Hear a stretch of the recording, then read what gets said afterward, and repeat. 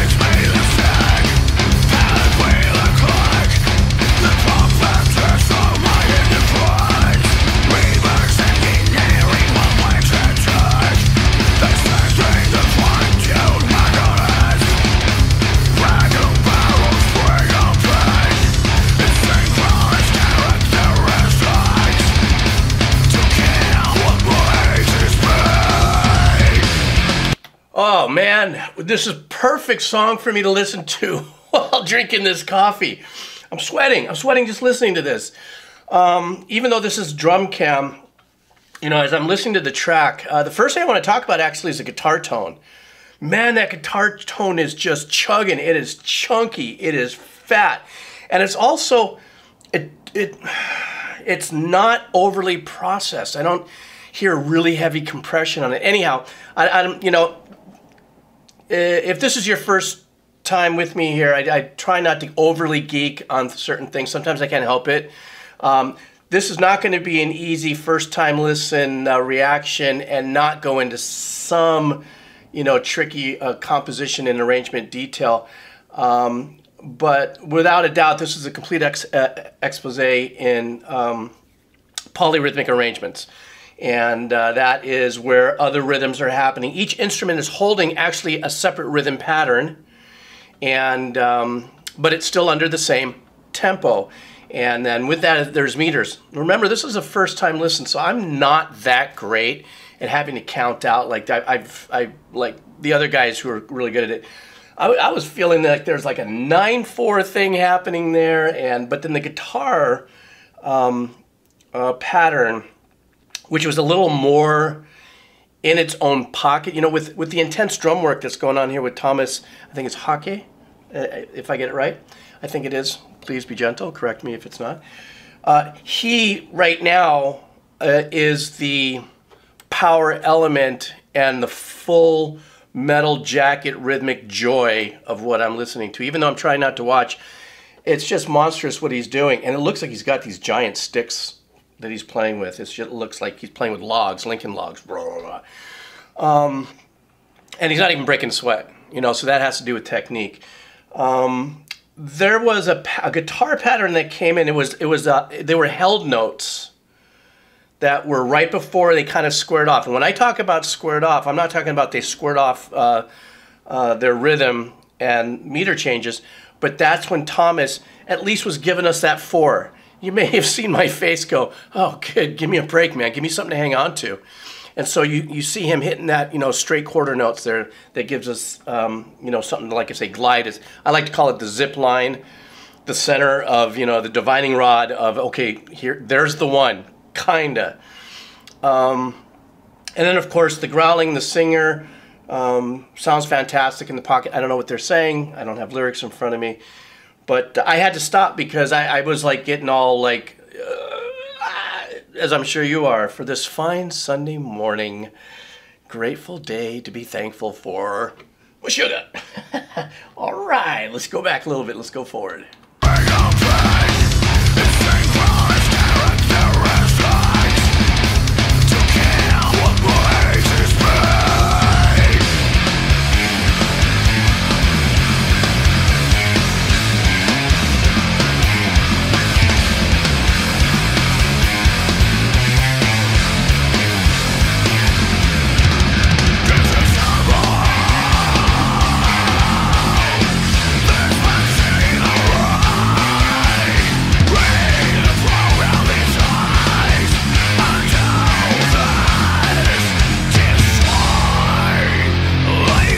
Sorry, I just got to say, I love that guitar riff they were just playing right through there. That's some slick guitar riff stuff's going on there when you're sitting there and you're sliding or bending the strings to get the sounds, which I believe in the last Meshuggah video I did, I also was like, are they bending into their pitches? So because I've never seen them play live or anything, it's just such a it's just such a sick technique. And it really for the for this kind of music and stuff it works so well. Sorry, I just goobered for the guitar player.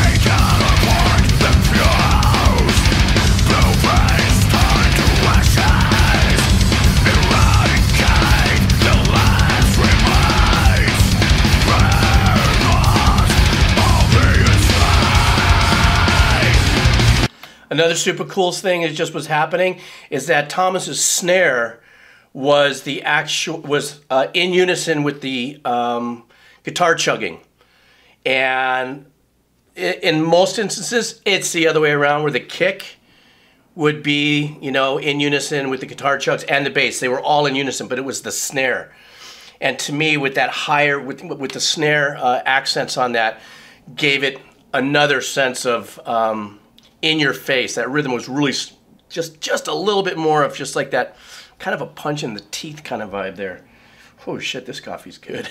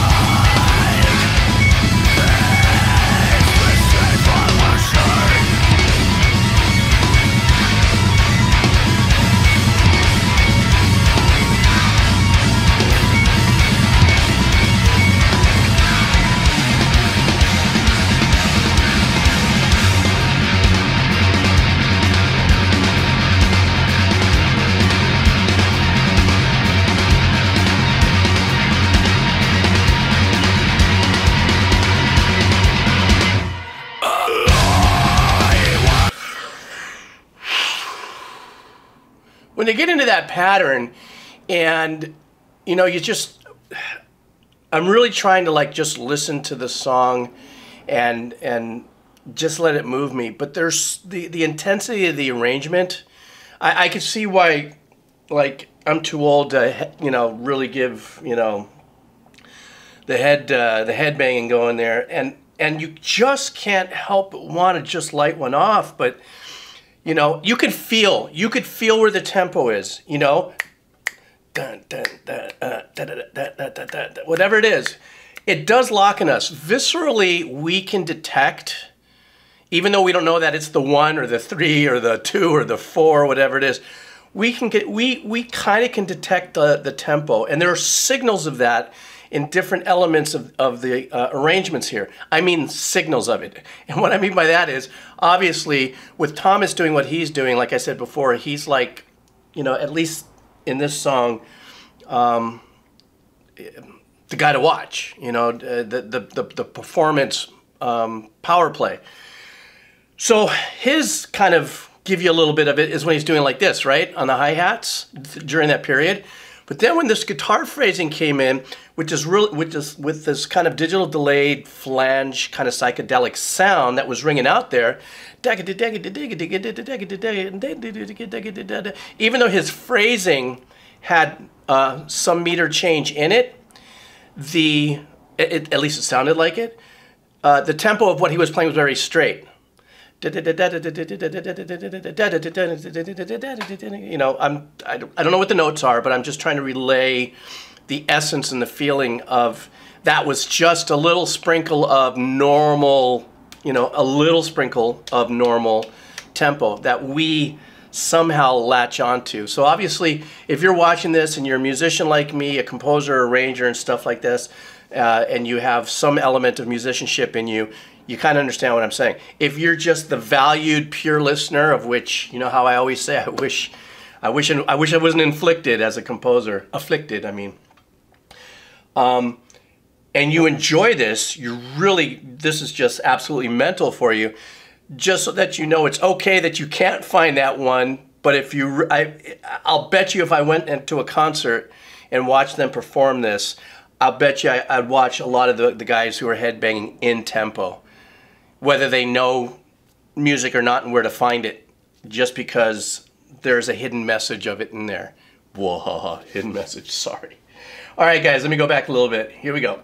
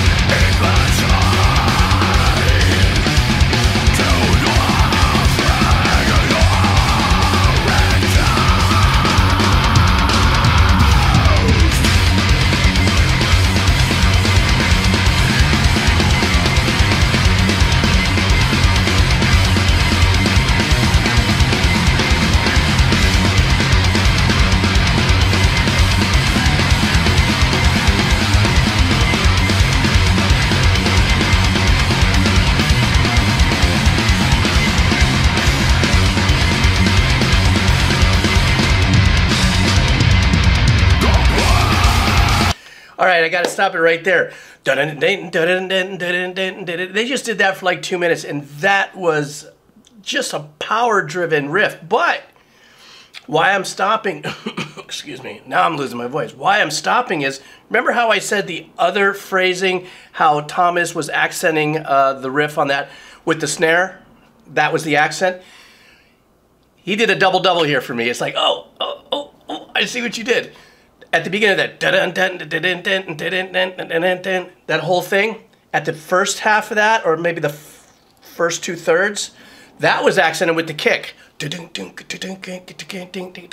then the last third, they flipped it. The kicks went actually pretty straight, but with his snare, he followed that with the um, with the snare. Yeah, actually, he followed that with the snare. He flipped that, and I caught that. And then that that those little intricate things, just the simplicity of switching something like like that out can completely change the whole essence of, of an arrangement composition so many different ways.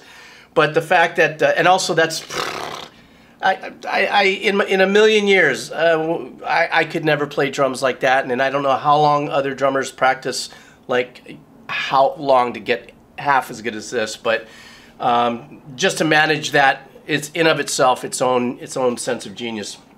Um, I don't, once again, I don't want to not pay any um, uh, uh, homage to the vocalist. Um, though this is a, a, monumental instrumental piece that's going on here. Um, well, not an instrumental piece, but a, a, deliverance of in, intense rhythmic uh, composition. The one, the one safety net for me as a listener, first time listening to it, is actually the singer. Is a safety net for me. And what I mean by that is, is while all this is going on, coffee driven or not, when he comes in, that's kind of like the, the a little bit of the pressure steamer. Just for me, it's like, all right, he comes in and he's filling in. He's giving me a sense of like, um, uh, what's, I can't find the word. Find the word for me. Type it in there. Find the word is, but um, um, that's that and, and of course the growling we already know he's absolutely genius at that but nonetheless I, I do look forward to when he comes back in because sometimes that's where i will feel at times he might be the one that's coming in on the one you know? It, it's so hard you know first listen like this i mean and i'm all i'm perspired. All right here we go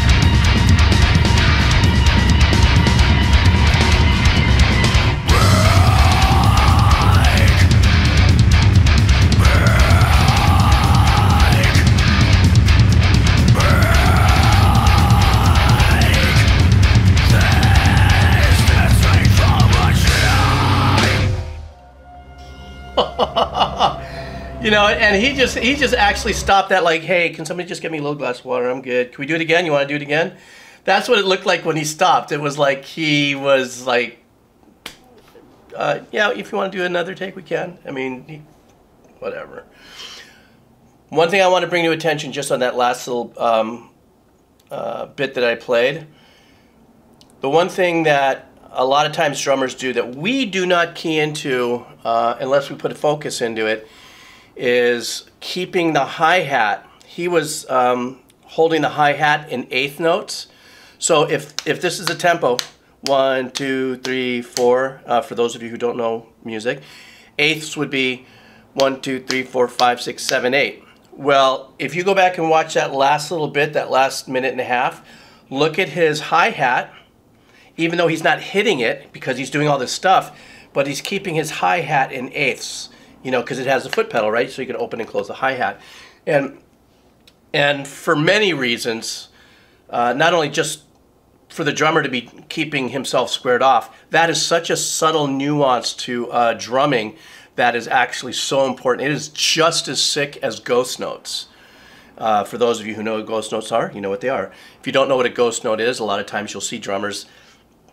Obviously, there's no ghost notes here, but when they'll hit the snare on the principal beat, there'll be little smaller uh, strokes, you know, on the snare. Anyhow, uh, I I digress a little bit, but I just did want I wanted to bring that to your attention.